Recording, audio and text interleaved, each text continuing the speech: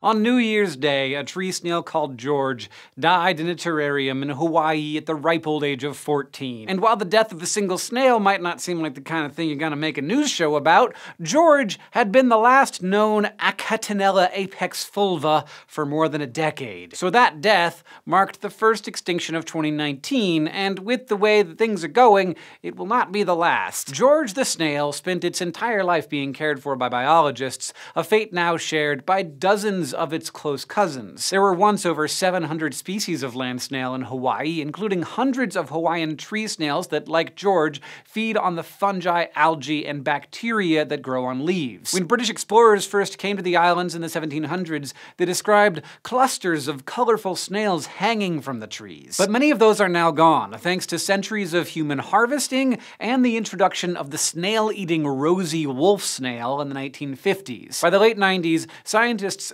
studying Hawaii's native snails realized that dozens of species were on the brink of extinction, so they established a captive breeding program. And in 1997, the last 10 or so wild snails of George's species were all taken to the lab at the University of Hawaii. Tree snails take 5 to 7 years to mature, and after mating, each pair of snails gives birth to less than 10 babies annually. So captive breeding was slow going. And then, in the early 2000s, most of them just died. Only one juvenile survived, and it was nicknamed George, after Lonesome George the tortoise. Though researchers searched for over a decade, they never found another apex fulva. So George's death marked the end of an entire species. And if that's not sad enough on its own, it's just the latest in a string of extinctions, especially in snails and slugs. If you look at the known extinctions that have occurred since 1500, about 40% are land-dwelling mollusks. Worldwide, scientists estimate more than 600 snails and slugs are now extinct because of habitat destruction,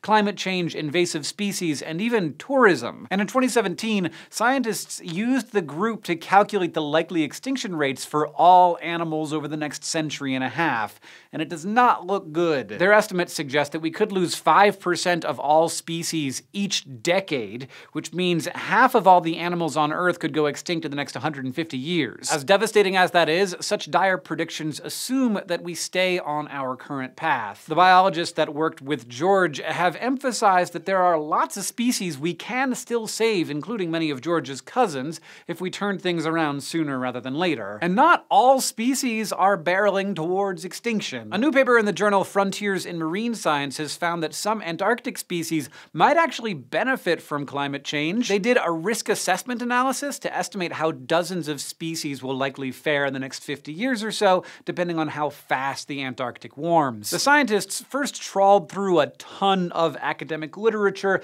to come up with seven environmental factors that would most strongly affect Antarctic species, stuff like rising temperatures, ocean acidification, and melting sea ice. They then found research which could speak to how each factor would impact a given species. If it was a positive effect, the species would get a plus for that factor, if it's negative, a minus, and if neutral, then it scored a zero. Then they tallied these up for 31 Antarctic species. The vast majority of the 20 21 invertebrates they studied, 70% would likely benefit from climate change. For example, less sea ice means more sunlit water where plant-like phytoplankton can grow. That means more to eat for suspension feeders like clams and jellies. And as the ice breaks up, it tends to drift into shallower waters and scrape the seabed. That's good news for bottom feeders like the proboscis worm and cold-loving sea stars, which would be able to spread out and gobble up any organisms killed in the process. What was really surprising, though, was that about half of the 10 bony creatures studied may benefit a little too, at least indirectly. The king penguin, for example, might have more room to breed because the receding ice would open up space on the glacial plains where it loves to nest. And both the king penguin and the southern right whale might do better because their main food sources, small fish and crustaceans, feed on plankton blooms and are therefore predicted to increase in numbers. But, and this is a pretty big caveat,